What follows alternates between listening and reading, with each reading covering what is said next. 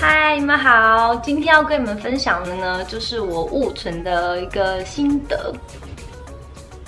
这样，那我现在有擦一个透明的唇蜜在上面。我是在上个礼拜去物存的。物存这件事情，我已经观望了很久。我在几年前就已经有一点点想要去试试看，可是就有生小孩啊、顾小孩啊什么的，然后没有去实践它。然后一直到我半年前看到也是有朋友做，我就觉得哎。还蛮好看的，想要试试看。我是一个很懒得补擦口红的人，所以常常嘴唇中间会白白的，没有气色。但是我觉得这是可以忍受的。后来近几年，就是尤其这一两年，我觉得越来越不能忍受的地方是我的嘴唇外框变黑了。黑的地方呢是外框。一圈的地方，就中间还是白的，然后外框是黑的，所以嘴唇呈现一个很奇怪的一个状态。秀唇的价格呢，会根据你嘴唇的状况会有所不同。然后我是因为外框是黑的嘛，算是黑唇，所以它的价格会再高一点。那如果你是嘴唇本来就比较白，想要一点点颜色的话呢，好像价格会比较便宜。好，我们现在讲雾唇的过程啊。要雾唇之前呢，会先做嘴部的消毒清洁，之后呢就敷上厚厚的麻药，然后敷完麻药之后就开始雾唇了。刚开始雾唇的时候，我是觉得完全的不痛，但是呢，它边雾唇的时候呢，会边做一个动作，就是擦掉。我猜是擦掉，就是绣上去的那个色乳，再擦这样。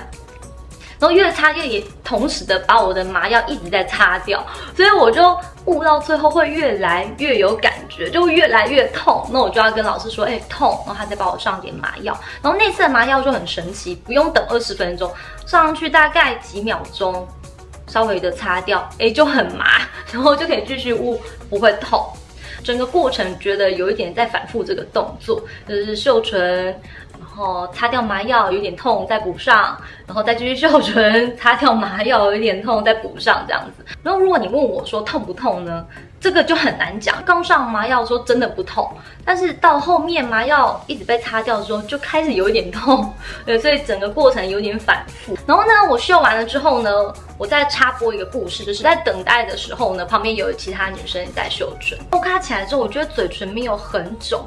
那我心想说，应该差不多就是同等级吧，我们应该跟他一样。就我起来没有起来，真的蛮肿的，就是梁朝伟的那一种香肠嘴，没错，就是这么肿。好，那到第二天呢，嘴巴呢就开始还是很干，然后更肿。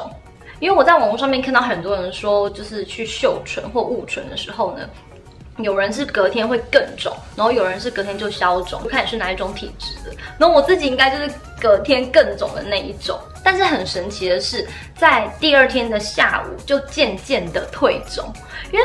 通常会想说，我今天早上起来嘴巴那么肿，我应该一整天就会这么肿了吧？就没有，到了下午就逐渐开始呈现一个比较正常的状况，但还是微肿。一直到第三天呢，我的嘴巴那个肿胀的感觉才是完全没有。但是到第三天，就是嘴巴变得很干很干，然后有一种快要脱皮的感觉。然后第二天、第四天都是很干很难受，就嘴巴有种被绷着的感觉。那我直到第七天才觉得嘴唇变得比较。没有那么干，然后比较舒服一点这样。但是我擦护唇的东西在我嘴唇上面，然后把它压掉给你们看，就把它压掉。我觉得它还没有完全的好，因为秀唇完会有个融色期，就是颜色跟嘴唇还会再融合一点，所以我觉得外框下来是看起来也是比较深一点。在没有擦口红的情况下呢。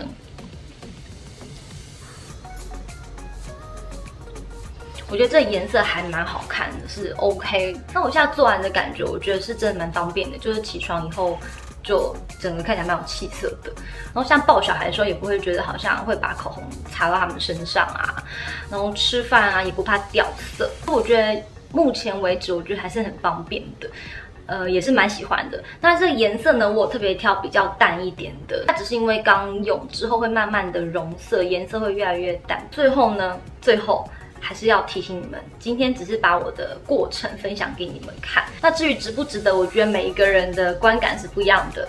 然后你们一定要记住哦，千万要记住哦，要找非常专业的，然后重点是要卫生、安全的，好吗？这个很重要，因为我不希望我拍了这个以后让你们觉得好像不错，然后。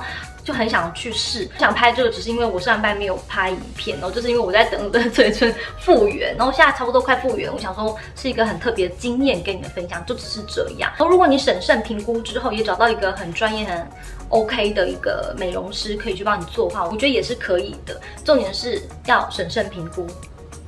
然后离题一下，就是我今天穿的很像睡衣拍影片，是因为。我穿错衣服了，因为我本来是要套这件西装外套在外面，然后我发现套这在里面跟好像是要参加研讨会的人，有点太正式了，所以我就决定把它脱掉。然后睡衣跟过于正式的感觉，两个权责之下，我觉得好像睡衣比较好看，所以我才这样穿的。好，那希望你会喜欢这支影片，拜拜。